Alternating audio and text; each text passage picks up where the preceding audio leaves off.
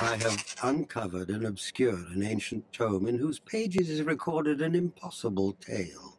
The secret history of a race called the Nephilim, gods by another name, and their ruined civilization in the West.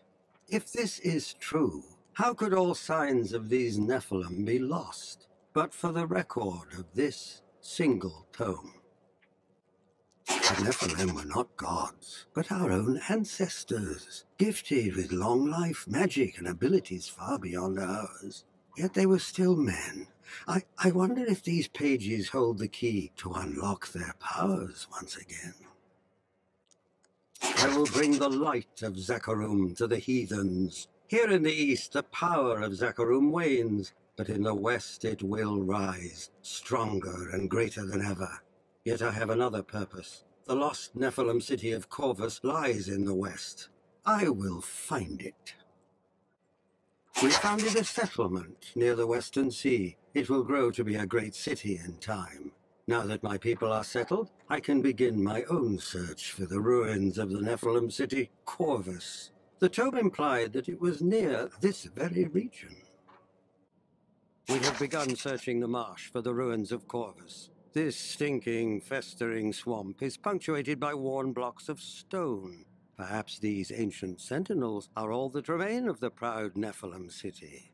No, there is more to be found. I know it. Last night, I found the ruined Nephilim city. When I stepped into the buried catacombs, I felt a stirring in my blood. And then a wondrous thing. A dim light began to glow all around me, not cast by any torch. It was as though the very stones acknowledged my presence.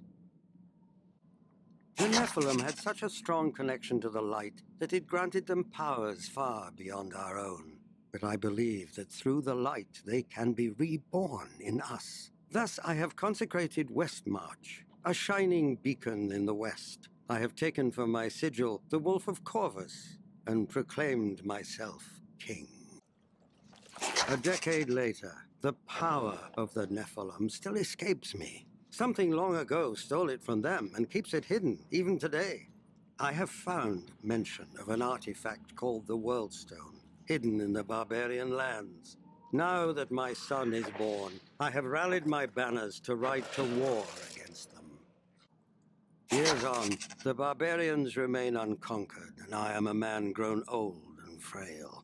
My life has seen the founding of Westmarch and the discovery of the Nephilim ruins, but still the deeper secrets elude me. I leave the task to my son, in whose blood shall carry forth the line of Nephilim kings.